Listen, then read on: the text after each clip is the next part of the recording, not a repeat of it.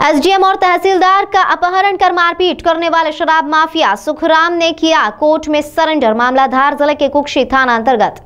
का है, जहाँ पर अवैध शराब पर कार्रवाई करने गए थे, तब अचानक से शराब माफिया ने एसडीएम और तहसीलदार पर हमला कर दिया था, जिसके बाद तहसीलदार का अपहरण कर ले गए थे, जिसकी जानकारी लगते ही धार ज़िले के कई थानों के प्रभारी सहित धार के कई आला अधिकारियों के साथ कमिश्नर आईजी सहित मौके पर पहुंचकर जायजा लिया था।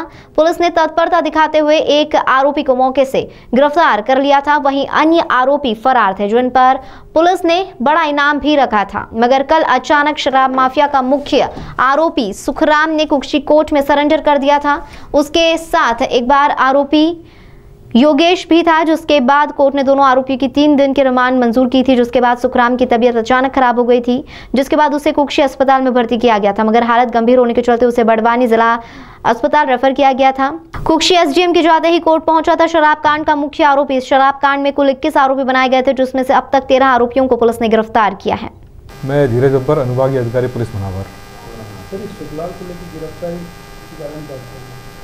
हाई कल कल दिनांक को जो है सुखलाल अपने एक साथी योगेश के साथ में जो है J M F C court कुर्सी में जो है उसने सरेंडर किया है।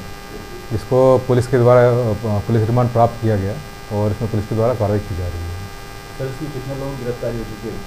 अभी कुल मिला के इसमें कुल इक्कीस आरोपी थे प्रकरण में और इसमें अभी हम लोगों ने तेरह आरोपी गिरफ़्तार कर लिया है जो है।